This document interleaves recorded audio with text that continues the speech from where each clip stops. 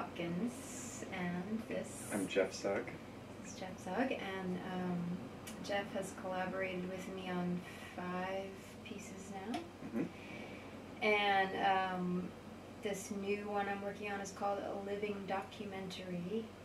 And the idea, actually, originally the idea was that I was going to do interview. I mean, the idea still is that I'm going to do interviews um, with colleagues and find out about how they manage to make a living as performing art artists.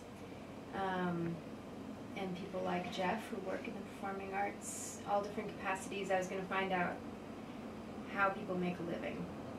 I just spent two and a half years making a show about climate change, and so it's a very heavy subject matter, very, very uh, upsetting, depressing, and, and actually all the shows that I make are about, to varying degrees, upsetting and heavy material. And I mean, the challenge of earning a living, one might argue, is, is kind of a heavy subject too, but um, I guess this Clement World, which was the most recent piece about climate change, it has a bit of a heartache sort of. I mean, there are comedic characters in it, but it's.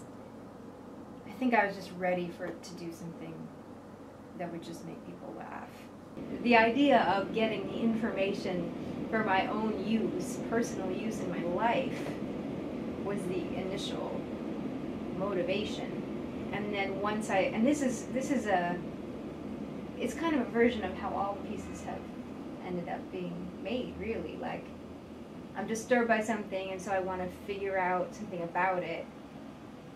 And then as I'm figuring out stuff about it, I start these characters start to emerge, and I start to write songs, and and so it's it's not really ever that clean of a, of a process, but um, but it was like I thought, oh, I, can, I want to interview all these people, and I wrote down all the people I want to interview, and I thought, well, these are fascinating people, and and they should be recorded, and you know they're my contemporaries, and because they work in theater, they're not as you know as docu- as well documented as other um, artists. But now there's like five, six different people doing interviews. There are.